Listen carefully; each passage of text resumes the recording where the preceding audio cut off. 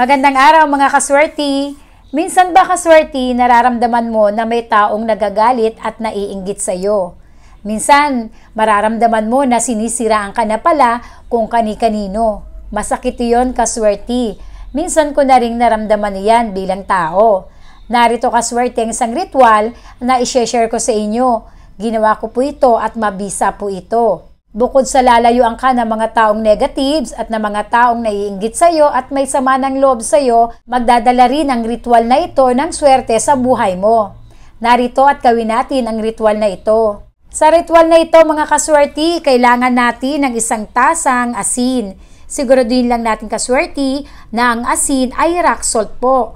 Huwag po tayong gagamit ng iodized salt. Ilagay din po natin ito sa isang lagayan na babasagin Huwag na huwag po tayong gagamit na lagayan na plastic. Kailangan din po natin ng isang pirasong ulo ng bawang. Kailangan po ay buong buo po ang bawang na ating gagamitin. Kailangan din po natin ng isang piraso ng dahon ng laurel bilang pampaswerte at ito po ay subok na subok ko na. Kailangan din po natin ng tatlong piraso ng bariya Maaari naman po kahit anong klasing barya na mayroong value. Kung nasa ibang lugar po kayo, maaari po. Basta po ito ay mayroon pang value at nagagamit pa. Habang ito ay ating ginagawa mga swerte, mas mainam po na malambot ang ating puso at magaang ang ating damdamin at ang ating isipan. Tanggalin nyo na po kung ano mang sama ng loob na mayroon kayong nararamdaman sa ngayon. Alam ko na hindi madaling gawin ito pero mas mainam pong gawin na tulungan natin ang ating mga sarili.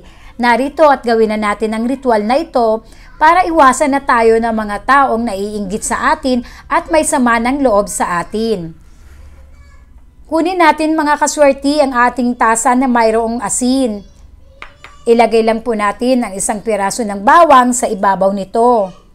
Pagkatapos nito mga kaswerte ay tusok natin ang isang piraso ng daon ng laurel sa harapan nito.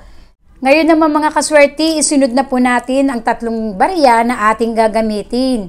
Siguraduhin po natin na ito ay nakaharap din po sa atin.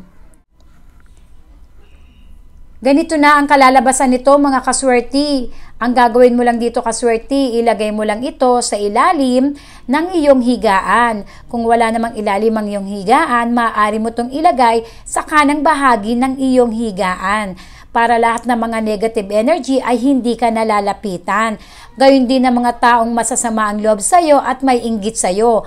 Mapapansin mo, unti-unti nang babait ang tao na may samang loob sa iyo at inggit sa iyo. Ito ay gagawin mo mga kaswerte sa loob ng isang buwan. Matapos ang isang buwan, ay maaari mo nang gamitin ang barya na inilagay natin dito at maaari mo na itong ipambili. Ang bawang ay hindi mo na maaaring gamitin, ganun din ang asin at dahon ng laurel. Maaari mo itong pagsamasamain at itapon mo sa basurahan o mas mainam, itapon mo to sa mga tubig na umaagos kagaya ng batis, ilog, dagat at kanal. Ayan lang mga kaswerte, gawin lang natin ito at sigurado ako lahat ng mga taong may sama ng loob sa iyo at inggit sa iyo ay mawawala at magiging mabait sa iyo. At isa pa, magiging maswerte ka mga kaswerte dahil sa taglay nitong swerte dala ng dahon ng laurel. Ayan mga kaswerte, gawin mo ito ngayon para naman mawala na yung mga taong naiinggit sa iyo at may sama ng loob sa iyo. Gandang araw mga kaswerte!